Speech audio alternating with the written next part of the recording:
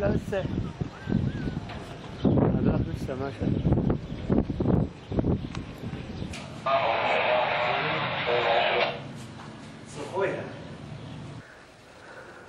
أكبر.